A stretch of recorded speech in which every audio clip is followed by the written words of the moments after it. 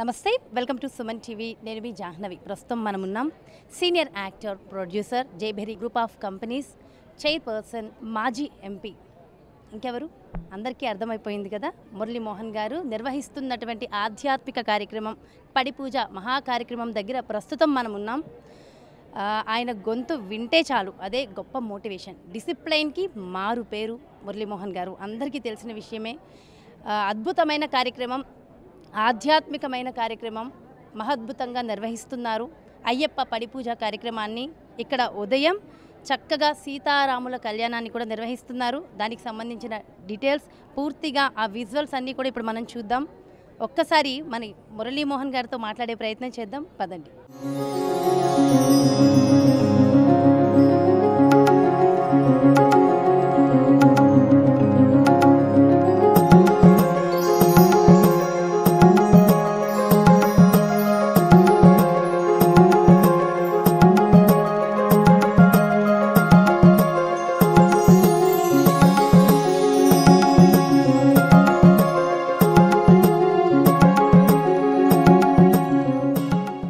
స్వామి నమస్కారం.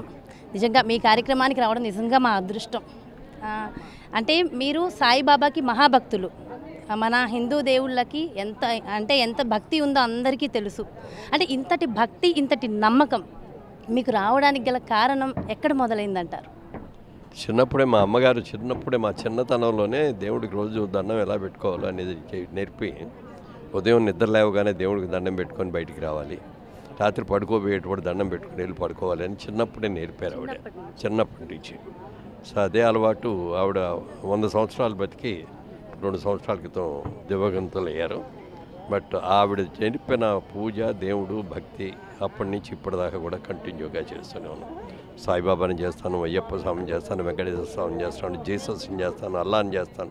అందరూ అందరు దేవుడికి దండం పెట్టుకుంటారు అందరూ కూడా ఒకటే దేవుడు అయితే నేటి తరం నేటి యువత నిజానికి భక్తికి చాలా దూరంగా ఉంటున్నారు మన ధర్మం నేర్చుకోవడానికి చాలా దూరంగా ఉంటున్నారనే చెప్పాలి. కానీ మీ మాట అంటే చాలు యువత ముందుకు హ్యాపీగా వినడానికి సిద్ధమవుతున్నారు. అలాంటి యువతకి మీ మాటల్లో మీరేం చెప్తారు? అంటే యువత కూడా రండి ఇదివరకు మధ్యకాలంలో వచ్చిన యువత కాదు కానీ ఇప్పుడు వచ్చే యువత అందరూ కూడా దేవుడికి దండం పెట్టుకుంటున్నారు ఇప్పుడు దేశ విదేశాల్లో ఉన్న దేవాలయాల దగ్గరికి వెళ్ళి చూస్తే ఎక్కడికి వెళ్ళినా కూడా కొత్తగా ఐటీ రంగాల్లో వచ్చిన వాళ్ళు కొత్తగా పెళ్ళి చేసుకొని వచ్చిన వాళ్ళు కొత్తగా పిల్లలు పుట్టిన వాళ్ళు వచ్చిన వాళ్ళు కొత్తగా కార్లు ఇళ్ళు కొనుక్కున్నారు వచ్చిన వాళ్ళు వాళ్ళందరూ కూడా దేవాలయాలకు వచ్చి దేవుడిది ఆశీర్వాదాలు చేసుకొని పూజలు చేయించుకొని అందరూ చేయించుకుంటున్నారు. ఇప్పుడు భక్తి అనేది పెద్దవాళ్ళలోనే కాదు మధ్యవస్తులే కాదు పిల్లలకి అందరికీ కూడా దేవుడు భక్తి పెరుగుతుంది రోజు రోజుకి. ఇంకా ఏం నేర్చుకోవాలని మీరు చెప్తారు మీ మాటలు? మనం నేర్చుకున్నది చాలా తక్కువ. మా సముద్రంలో ఒక నీటి బిందువు అంతా మనం నేర్చుకున్నది. నేర్చుకోవాల్సింది సముద్రం అంతా. అందుకని ఎప్పుడూ నిత్య విద్యార్థులాగా నేర్చుకోవటమే. ఏదున్నా నేర్చుకుంటూ మన సనాతన ధర్మం గురించి మన హిందూ ధర్మం గురించి రెండు మాటలు మీ మాటలు.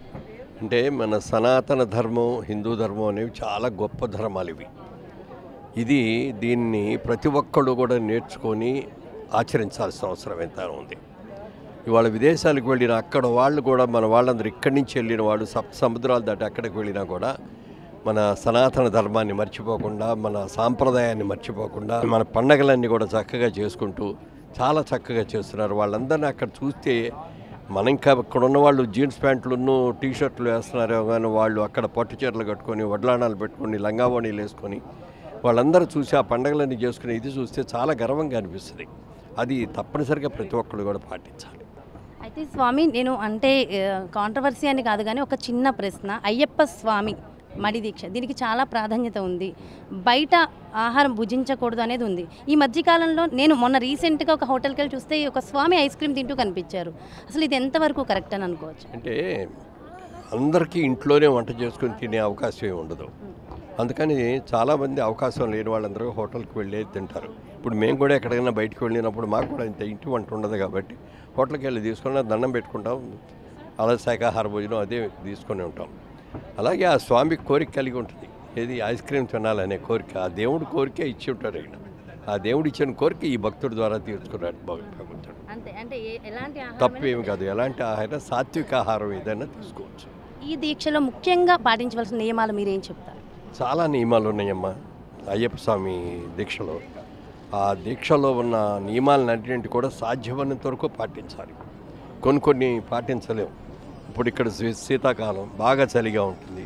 పొద్దున్నే తన్నీళ్ళు స్నానం చేయాలంటే చాలా కష్టం. అందుకని కొద్దిగా గోరువెచ్చగా నీళ్ళు వేడి నీళ్ళు కలుపుకొని అది గోరువెచ్చగా చేస్తూ ఉంటాం. అందుకని కొన్ని కొన్నిటికి భగవంతుడికి దండం పెట్టుకొని స్వామి నేను చేయలేకపోతున్నా నా వయసును బట్టి కానీ నా ఆరోగ్యం బట్టి కానీ అనుకొని దండం పెట్టుకొని చేస్తే ఏం తప్పు. నేటి తరం యువతకి అంటే ముఖ్యంగా డిసిప్లిన్ మీ నుంచి ఎవరైనా నేర్చుకోవాలనుకునేది డిసిప్లిన్ మీలాగా జీవిస్తే చాలని చాలామంది అనుకుంటూ ఉంటారు గురువుగారు. సో అంటే మీ నుంచి మీరు ఆ డిసిప్లిన్కి సంబంధించి యువతకి ఏం చెప్తారు? యువతకు ముఖ్యంగా నేను చెప్పేది ఏంటంటే ఎవరు ఏ పని చేసినా ఉద్యోగం చేసినా వ్యాపారం చేసినా అది చిన్న ఉద్యోగమా పెద్ద ఉద్యోగమా అని అనుకోకుండా చేసే ప్రతి పనిని కూడా ఇష్టపడి కష్టపడి చేయాలి. అలా చేస్తే విజయం దానంతటికదే వస్తుంది. అయ్యో నాకు ఇంత విద్వత్తు ఉంది నేను ఈ ఏదో పని చేస్తున్నాను ఏమిటి అనేటటువంటి అనుకోకుండా చిన్న పైన పెద్ద పైన ఇష్టపడి కష్టపడి చేస్తే విజయం సాధిస్తారు. అందుకని అలా విజయం సాధించాలని మనస్ఫూర్తిగా చివరికి ఒక్క ప్రశ్న గురువుగారు. గారు అంటే నేటి తరం అందరూ కూడా ప్రతి ఒక్కరు రెమెడీస్ రెమెడీస్ అని చెప్పేసి చిన్న చిన్న ఇన్స్టెంట్ రెమెడీస్ ఇన్స్టెంట్ మనీ అని వెళ్తున్నారు. సో అవి నిజంగా ఫలిస్తాయంటారా? మీ మాటల్లో అంటే మీకేమైనా మిరాకిల్స్ అలాంటివి ఏమైనా జరిగాయా? మిరాకిల్స్ అయ్యో జరగాలని దేవుడికి దండం పెట్టుకోకూడదు. దండం పెట్టుకునేటప్పుడు దేవుడు నా మూలంగా ఎవరికి ఏ విధమైన చెడు జరగకూడదు. సాధ్యమైనంత వరకు నా చేత ఏ సహాయం పొందేటట్టునా వాళ్ళు పొందేటట్టు ఉండాలి అని కోరుకోవాలి తప్ప నేను తెల్లారిపాటి కోటీశ్వరుని అయిపోవాలి నాకు ఇది అవ్వాలి అని చెప్పి దండం పెట్టుకుంటే అది మనం అనుకుంటామే తప్ప దేవుడు అది అట్లాంటివి ఇది చేయడు. అందుకని ఎప్పుడు కూడా మిరాకిల్స్ కావాలని కోరుకోకూడదు. దేవుడు. చల్లగా చూడాలి అందరినీ బాగుండాలి అందరు బాగున్న అందరిలో నేను కూడా ఉండాలని కోరుకోవాలి తప్ప నేను మాత్రం బాగుండాలి మిగిలిన వాళ్ళందరూ బాడవాలి అనుకుంటే అది ఎప్పటికీ జరగదు అది. అంటే అయ్యప్ప మాలని మీరు చాలా సంవత్సరాలుగా ధరిస్తూ ఉన్నారు. ప్రతి సంవత్సరం కూడా ఇక ఎలాంటి కార్యక్రమాలు నిర్వహిస్తూ ఉన్నారు. అండ్ ఆధ్యాత్మిక కార్యక్రమాలు కూడా ఎప్పుడు నిర్వహిస్తూ ఉంటారు. అంటే మీ లైఫ్లో వీటి వల్ల ఏమైనా మార్పులు జరిగాయా? మార్పులంటే నేను చాలా చిన్న స్థాయి నుంచి మా కుటుంబాలయ్యి చాలా పెద్ద పెద్ద కుటుంబాలైనా ఒకప్పుడు బ్రహ్మాండమైన ధనవంతులైనా కూడా మా దగ్గరకు వచ్చేటప్పటికి మేము వంద రూపాయల జీతంతో ప్రారంభించాను నేను ఇవాళ రోజున ఈ స్థితికి వచ్చానంటే అదంతా భగవంతుడు దయ్యాయి అందుకని ఆ భగవంతుడికి నేను మనసులో ఒకటే పెట్టుకుంటాను. నా అవసరాలని తిరిగి ఇప్పుడు నా దగ్గర ఉన్న దాంతో నాకు చేతనైన సహాయం చేసుకుంటూ ఉండాలి. అది అవ- అవసరమైన వాళ్ళకి అందుకని చదువు నిమిత్తంగా మేము చేస్తున్నాం ఆ కార్యక్రమాలు. ఎందుకంటే అన్ని కార్యక్రమాలు అందరం చేయలేం కాబట్టి ఇంటర్మీడియట్ పాస్ అయిన తర్వాత బాగా చదువుకొని మంచి స్తోమత ఉన్నవాళ్ళు మధ్య మంచి మార్కులు తెచ్చుకున్న వాళ్ళు మంచి ఎంసెట్ ర్యాంక్ తెచ్చుకున్న వాళ్ళకి ఆర్థికంగా వాళ్ళకి సహాయం చేసి వాళ్ళు బాగా జీవితంలో పైకి వచ్చేటట్టుగా చేయాలనేది చేస్తూ వచ్చాం. ఒక వెయ్యి మంది దాకా చేశాం ఇప్పుడు. రాబోయే రోజుల్లో కూడా ఇంకా చేయాలనే కోరుకుంటున్నాం. చాలా చాలా చాలా సంతోషం స్వామి. థ్యాంక్ యూ సో మచ్ నమస్కారం.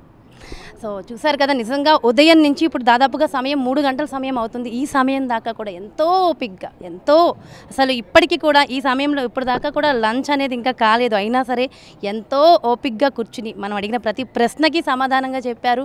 చాలా అంటే ఆయన నుంచి నేర్చుకోవాల్సింది చాలా గొప్ప డిసిప్లైన్. అంటే ఆ ఓర్పు ఓపిక ఎంత ఎదిగిన కొద్దీ అంటే అన్నీ ఉన్న విస్తరాకు అణిగిమణిగి ఉంటుందంటారు కదా. అట్లా అంటే ఆ స్వామిలో నేర్చుకోవాల్సింది మనం అలాంటి తత్వాన్ని మనం నేర్చుకున్నట్లయితే డెఫినెట్గా అంటే ఆయనలాగా ఉండాలని అనుకుంటే కదా ఆయన చేసినవన్నీ కూడా చేయాలి మరి మురళీమోహన్ గారిలాగా ప్రతి ఒక్కళ్ళు ఉండాలి అలాంటి జీవితం గడపాలి అనుకుంటే ఆయన నుంచి డిసిప్లైన్ నేర్చుకుందాం. ఆ- ఎదిగిన కొద్దీ ఒదిగి ఉండే తత్వాన్ని నేర్చుకుందాం. అన్నీ ఉన్నా సరే ఎంత ఓర్పుగా ఉంటే అంత మంచిది. సో నిజంగా చాలా చాలా చాలా చక్కటి విషయాలు ఆయన మాటల్లో కూడా వీక్షించారు కదా. మరో చక్కటి కార్యక్రమంతో మళ్ళీ మీ ముందుకు వచ్చేస్తామని నమస్కారం.